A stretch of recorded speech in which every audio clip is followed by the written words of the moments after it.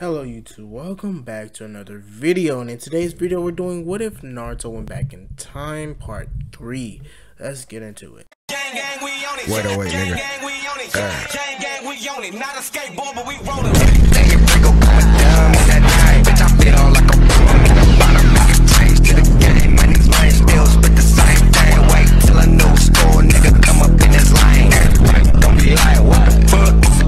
Now, short disclaimer, I've recorded this video once already and it, my computer completely just restarted mid video and didn't like try to save it or try to recover it at all. It just restarted and everything. I didn't even press restart on my computer. So this is it really confused me, but yes. So we we're gonna get into the video. So we're supposed to be getting into the Chunin exam. So Naruto and his team would appear into uh, would appear at the school, or would uh, well would meet up at the school and could go on their way. Now Naruto will continue walking until Sasuke would decide to confront the Chunin exam, the Chunins, and much of this went much to canon.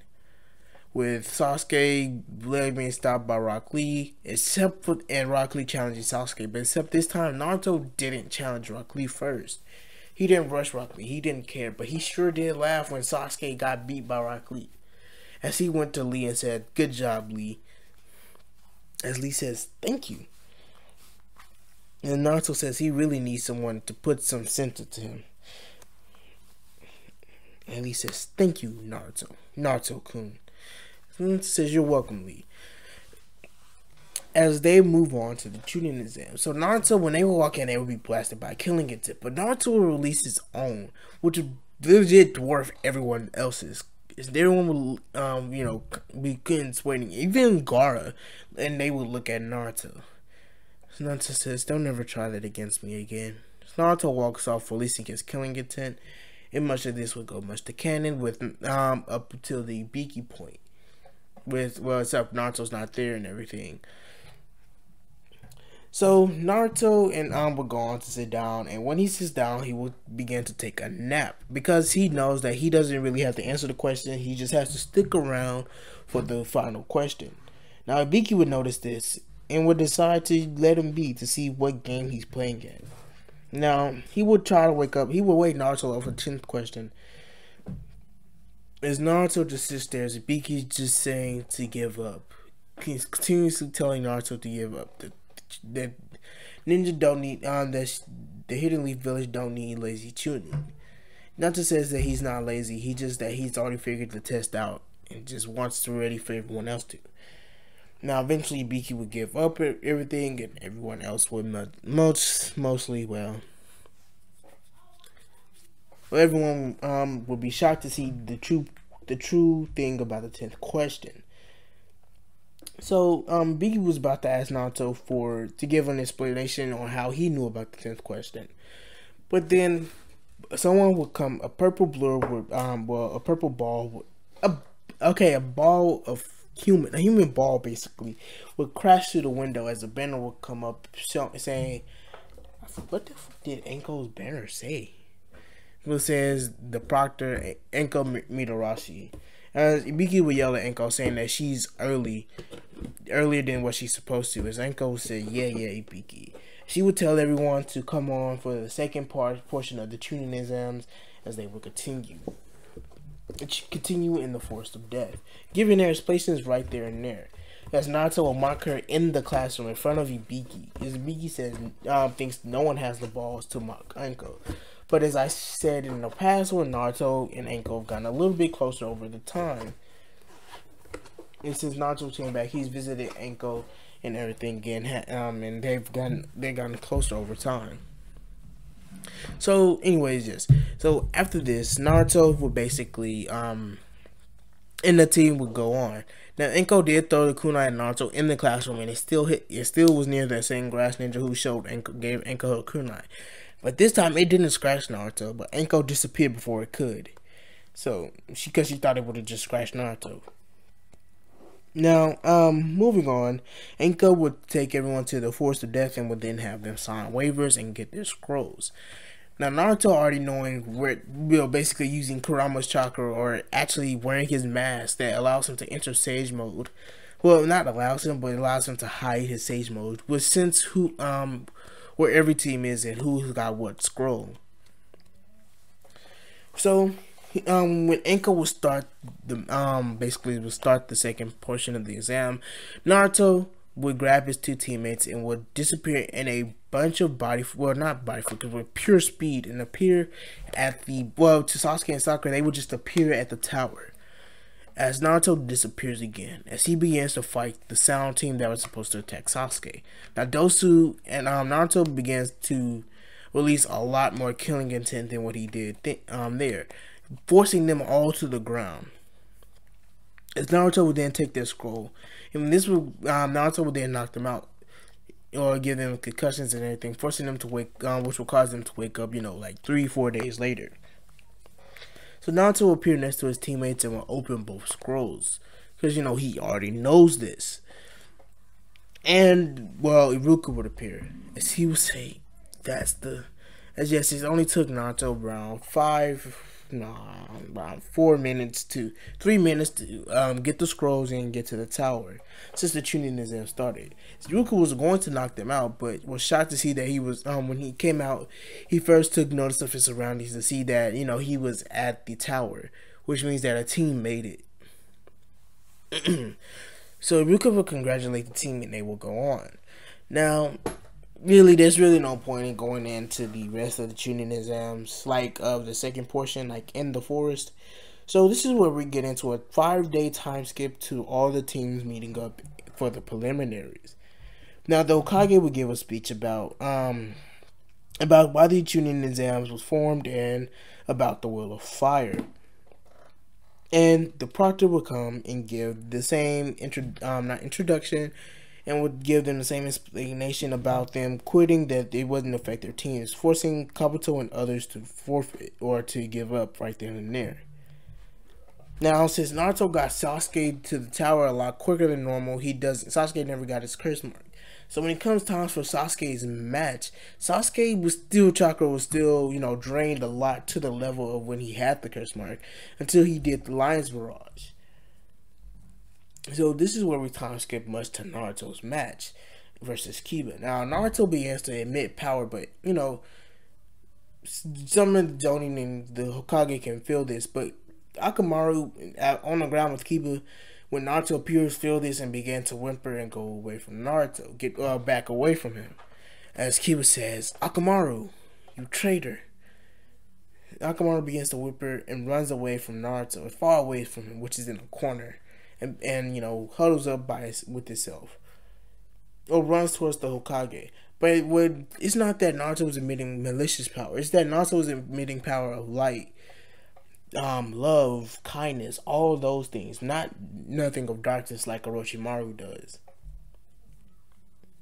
As Akamaru says that uh, since that this power dwarfs that of the Hokages. So Kiba would then decide to do a he perform a jutsu called by the name of Tsuga or Tunneling Fang, which is basically a single version of the Fang over Fang.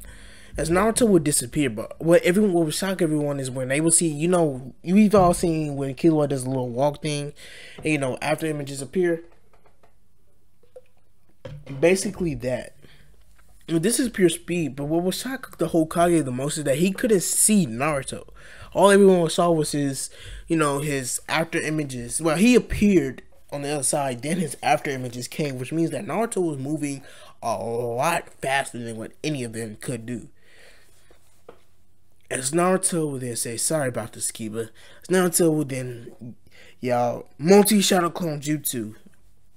As they, some clones appear below Kiba. As they yell out, Uzumaki. Wait, no, no, not that. Naruto, Uzumaki, 2K Barrage.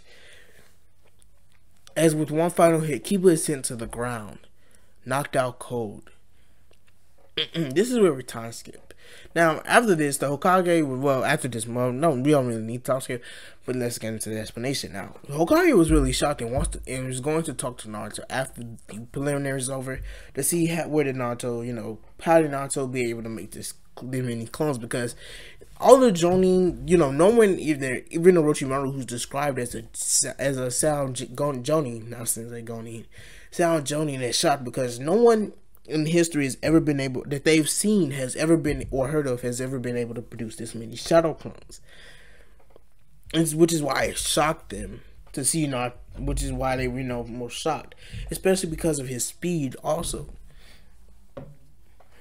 Now Sasuke would be in anger because Naruto basically just copied his jutsu, something that only the Sharingan did, but well his taijutsu move, could because he sees that the um his his Naruto Uzumaki 2K barrage is based off of the Lion's barrage, except with 2,000 shadow clones, making it 2,000 times more. I said two times, two times more efficient than the Lion's barrage, which is performed just by him.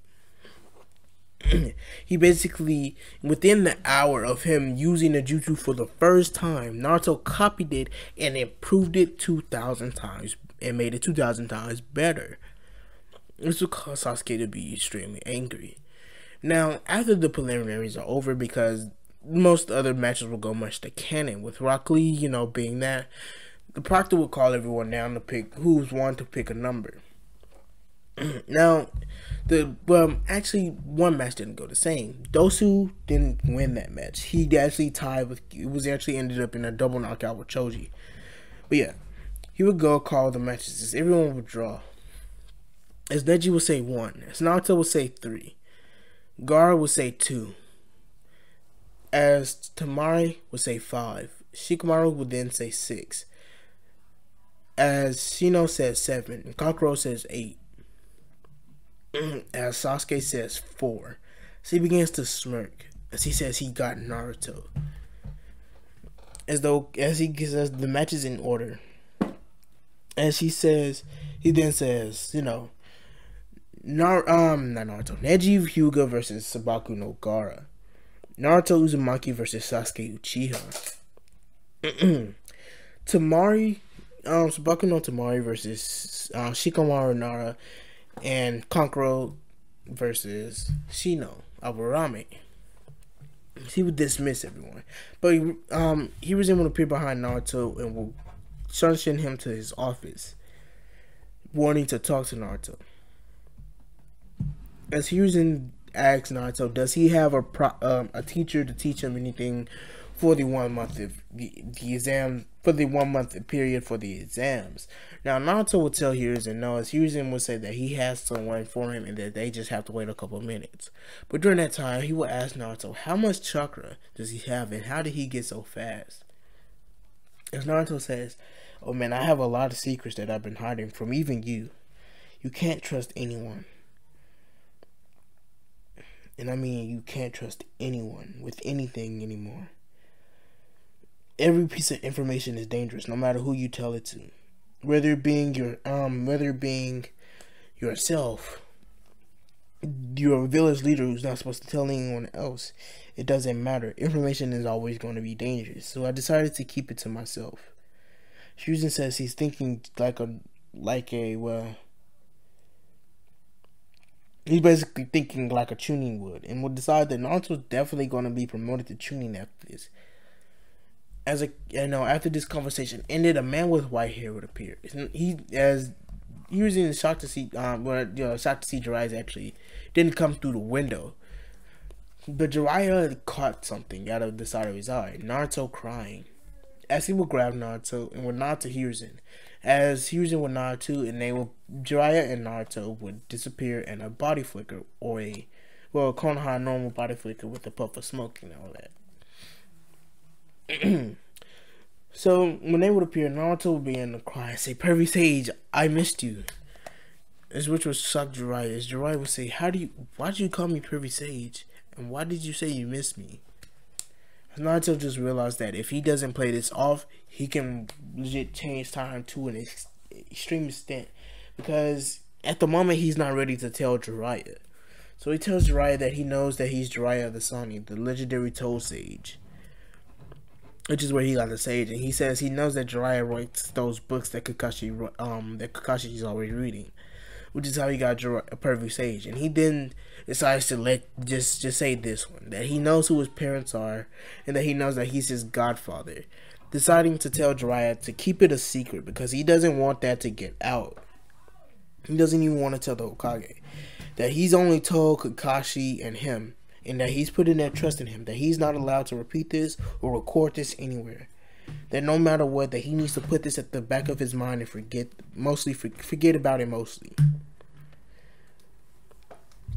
Israel would be shocked, but would understand, saying because he also knows that information is dangerous, seeing as how he runs a spy network, which can which ruins a lot of plans for that um that causes for invasions of Konoha. He's ruined a lot of those and everything.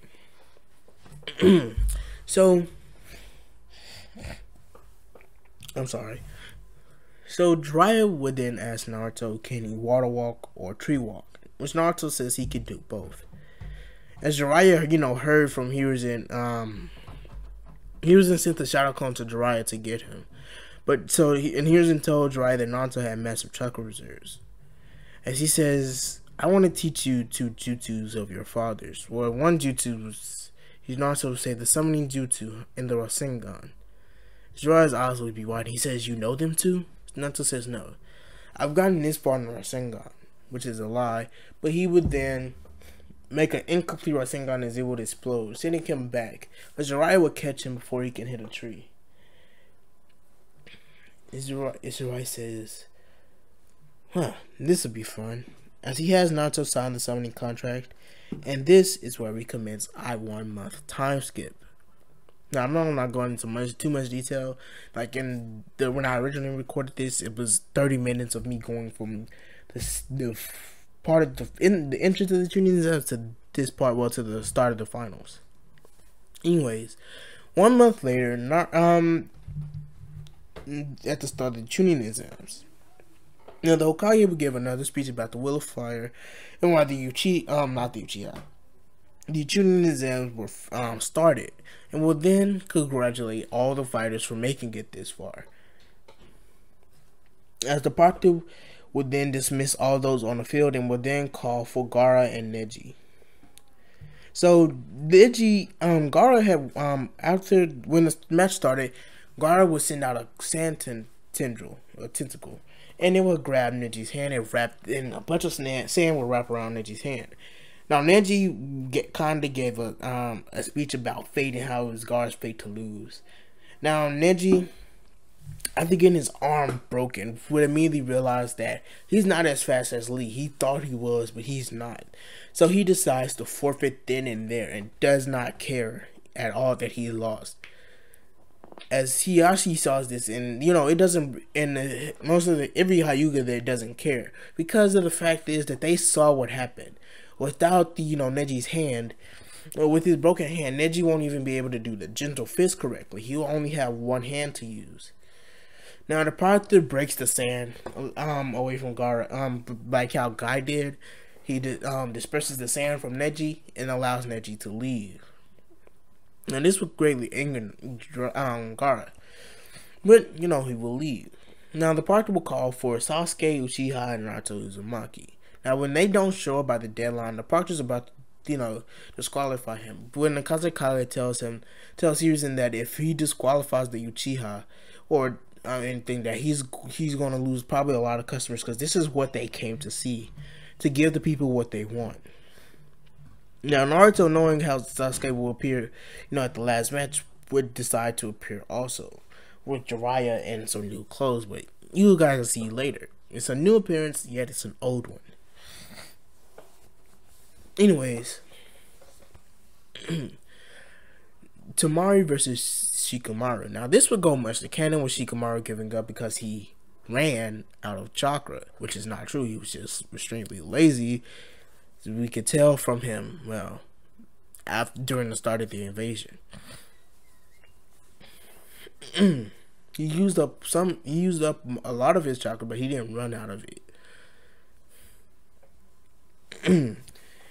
Now, he did have to use a different strategy than what he did in canon, for the reason is Naruto didn't fight Neji.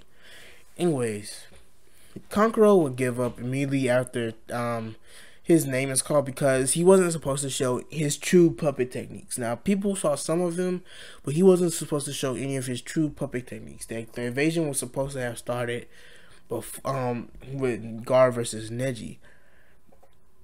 Or actually, was supposed to start when Neji, well, Gar fights Sasuke, because this is what the Kazekage told him in the, on any off chance versus Naruto. so Kankuro would give up. Now, this gives Sasuke enough time to show up in a tornado of leaves with Kakashi appearing. They both yell, Yo. Kakashi says, Are we late? And she says, Very. You're lucky though because Kage wanted your match pushed back. Or you will both you and both Naruto will be disqualified. And Sasuke would say, What? He's not here? As everyone will see a shadow and they will all look up to see a gigantic red frog appear on the ground, holding a shield and a Sasumata. As the toe says, Jiraiya-sama, Naruto-sama, have to admit I'm quite clumsy. As Jiraiya says, don't worry, Gamaken, you can disappear now. As Naruto is basically wearing the same thing, but, you know, he hasn't dropped the Genjutsu yet to show his real appearance.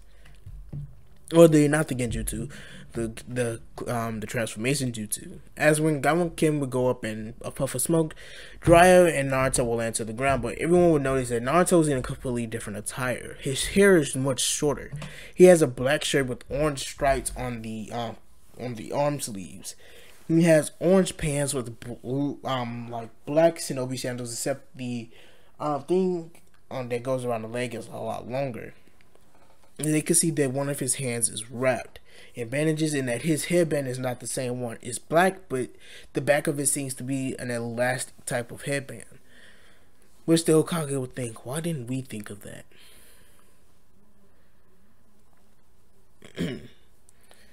As Rai would say, good luck, kid. As Sasuke be seething, as he asked Kakashi why didn't he have him sign his summoning contract. But Kakashi would then tell Sasuke that the um his summoning contract specifically is for the Hatake clan. That they the dogs won't accept anyone else. And this is that that contract is what made his father famous as the White Fang of the Leaf. Also because the Hatake clan are close relatives to the Inuzuka clan. Instead of like the Inuzuka clan whose animals are were once um come from a clan of summoned dogs who broke off to live in the real world and met the Inuzukas the Hatake clan's dogs are the dogs that um that that those dogs came from originally. Saying that Sasuke wouldn't have been able to sign it anyway because they only accept Hatakes. And because his father was named the uh, of the Leaf because um, his aura gave off that of a white dog. The dog with white fur and everything. Anyway, Sasuke would then scoff and would tell Kakashi to get out of his sight. Causing Kakashi to roll his eyes and disappear after giving Naruto a nod and Naruto giving him one back. And this is where we commence the start of Sasuke versus Naruto. Now they will both jump. Well, Sasuke will jump back and will begin going through his signs. Naruto will jump up to the wall and will begin going, reach for a kunai and hold out his hand. As Jiraiya sees a kunai, but he knows he didn't teach Naruto that jutsu because he could see the Rasengan forming, knowing that Naruto mastered it. As he knows that he didn't teach him that jutsu. As Naruto, you know, then and Sasuke charge at each other. But when they're almost close, Naruto throws a kunai, forcing Sasuke to like bend over a little bit so that the kunai rises past him, like getting low, a little bit lower to the ground with his back up. But Naruto would disappear in a yellow flash and appear with N1 with having the kunai in hand and will slam the Rasengan into Sasuke's back, leaving a swirl mark. As Naruto then places a seal on Sasuke, which is a anti-seal seal, which doesn't for- allow any other seals to be placed on Sasuke, like none other. Like this is actually worked many times for um Shinobi like in the period when they were for, trying to force Jinchur, um, Bijus into Jinchurikis, these were created. So not even a, a Jinchuriki seal or anything like that could be forced onto anyone. so this will release into Sasuke um, basically being incapacitated and the doctors will come out glaring at Naruto for touching their Uchiha Sama. As a bunch of people would be pissed off because they wanted. Okay, flashback. When they saw Naruto had the form the Rasengan, they were immediately pissed because of the fact is Naruto. They believe Naruto killed the fourth Hokage to take his jutsus. That you know because they believe Naruto's the Kyuubi. So you know they, this is what they're believing at the moment. Naruto killed the fourth Hokage to take his jutsus and all that. And then they, um, then when he he disappears in the yellow flash, they believe that he killed him for that, and they saw he had the summoning contract. They believe that Naruto killed the fourth Hokage to take all of his jutsus, and then disguised himself as a child or a baby that then grow up and you know, eventually regrow to be the size to be the Kyuubi again. And they wanted when they saw Sasuke do the Chidori, they were extremely happy, thinking that with this jutsu, he'll finally be able to kill the, the demon. And they were extremely more pissed when the demon, the demon kid, beat Sasuke with the Horation and everything. So Jiraiya would appear next to Naruto, since you know technically it's Naruto's turn versus Gar after this. Jiraiya says, "Naruto, I never taught you the Hiraishin." Naruto leans in and says, Jiraiya, I didn't, I don't know the Hiraishin. You see, it's just a body flicker that I I made. Well, it's sort of a body flicker that gives off a yellow flash when I disappear and appear. You know, it's just for theatrics. Jiraiya smirks and says, "You sneaky kid." Fusion's up in the Kagebush sweating bullets. Even Orochimaru has a sweat job seeing this. As he can see that Fusion is, you know, staring at Naruto and, you know, he's just sweating. Naruto looks at Hiruzen and winks at him, causing Hiruzen to confirm that Naruto knows. Now, Kakashi knew that since Naruto was from the future, that he already knew. This is when Naruto would then hear a scream and says, Yeah, get him, kid. Naruto and everyone turned to see Anko screaming, Go Naruto!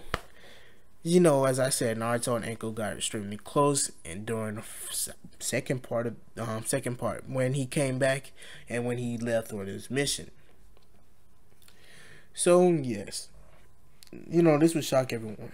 Now Sakura, however, is extremely mad, and Ino. Let's just say Ino doesn't feel the same way she felt for Sasuke but she also doesn't feel the same way she felt for Naruto. Because she believed Naruto is handsome.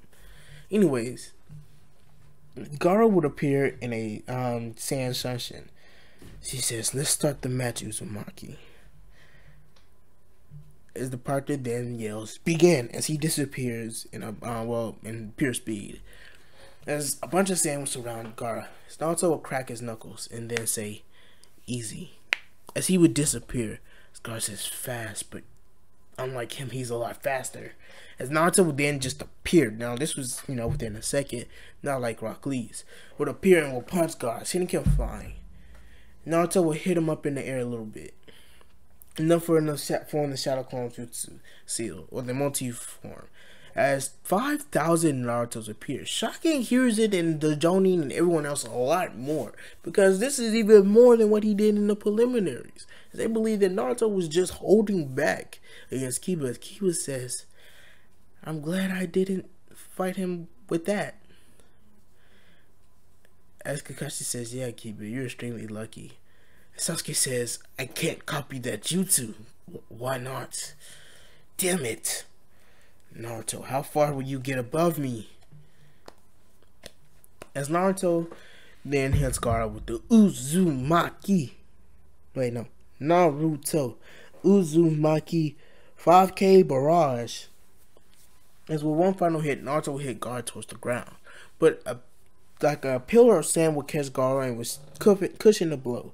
As sand, well, this actually caused Gaara to, you know, still fall unconscious from the hits as then boom, in a burst of sand, a gigantic Biju will form. And since guards are conscious, form a gigantic Shukaku. And I have to pause it because I'm sorry. Anyways, and since this, um, since guard is unconscious, Shukaku already has full control. Now the invasion was starting. Everyone's put under Genjutsu except a select few. Now, this doesn't Naruto Shukaku being formed doesn't give the Sand Team enough time to get Gar out of there, so Gar is still in the stadium. First, Naruto then be says, "You ready, Kurama?" Kurama would clasp his hands as Naruto would too. As a a gigantic energy um aura of yellow would burst out from Naruto. As Naruto and Kurama scream. As Shukaku has formed a Biju bomb and is shooting towards Naruto. But he knows that if Shukaku if he blows the projectile away, like same thing with Momoshiki, that it'll you know basically destroy destroy it and kill everyone in the arena. And he doesn't want this. So he with forming a Kurama who was steadily growing, will push the Biju bomb up for Kurama to hit it with another Biju bomb. But this was the beam form, exploding it above everyone in a safe distance, not leaving no backlash or nothing. Well, except you know, powerful gust of wind. As Kurama would then hit Shukaku with the hand right onto his head. Yes, hitting Shukaku on the head, forcing him to the ground. As Kurama would then jump up in the sky because the Chunin Exams, the Chunin Exams arena can barely even withstand Shukaku, or can barely hold the two. So jumping up into the sky, forming a gigantic Rasengan, bigger than Shukaku, covering Shukaku completely, causing Shukaku to break away. Because this, sudden shock of pain forced Gaara awake and then back out. But that, you know, caused him to knock out, and along with Shukaku not being able to send Gaara anymore, you know, anymore. Well, how do I say this? Anymore Biju chakra or Tail Beast chakra, any of his chakra. As Naruto says, "Good job, Kurama." As Naruto then lands towards Gaara, as now Shukaku is now able to at the moment. He wasn't in, at that moment, but now he's able to. As Naruto slaps the seal onto Gaara. Gaara wakes up and Naruto gives him their same talk no jutsu speech. But since they're in the arena again, Naruto will knock Gaara out. Now Temari, Baki, and Kankuro have already been captured. And Naruto sees Hiruzen fighting and knows that he can't even, not even he can get into that barrier. Yeah, maybe with Kurama's chakra, but he doesn't want to risk it. But he knows that without the old man's death, you know, Kona, um, without Hiruzen's death, you know, most everything doesn't happen. Tsunade doesn't come back. None of that. So he doesn't save Hiruzen. He's not. He doesn't try to save Hiruzen. He goes out to help in the eva- in the evasion. Now, Orochimaru was in a, a clone of his to place a mark on Sasuke. And we'll see the seal on the other seal on Sasuke when the seal doesn't form after searching over Sasuke because he was knocked out. Now, Orochimaru removed the seal and would then place a seal onto Sasuke. Yeah, yes, it's all it takes is the removal of the seal because he knows what the seal is. Eventually, it was revealed that this seal helped, you know, get rid of um, not being able to place a seal on someone. But anyways, he removed the seal and will place a um, curse mark on Sasuke. and would um, hold his hand until well the clone would hold his hand in a ram's hill or until it fully finished forming and was steady or um, was steady um was finished forming and complete. Not so Sasuke didn't arrive in pain for too long because Orochimaru had to hurry up and leave during the Chunin exams and Naruto's timeline. He had to hurry up because he had already exerted too much power and everything because he was alerting Anbu to his position and all that. But now he doesn't. As the clone dispels and Orochimaru receives his memories. So Naruto will help stop the invasion. Most majority Gamabunta wasn't um, summoned this time. Well, he was Naruto's first um, summon, and Naruto did summon Gamakichi on purpose after uh, after Gamabunta. but yeah, so this is where we time skip to the like a week later after the invasion. Now, Konoha is extremely saddened and is currently rating as everyone is at an attendance of a mass funeral for those who have died during the invasion, along with the third Hokage. So, um, Naruto attends the um the basically attends the funeral because this time he wasn't able, he still wasn't able to spend more time with Hughes. He knows that without Hiruzen's death, a lot of things don't happen.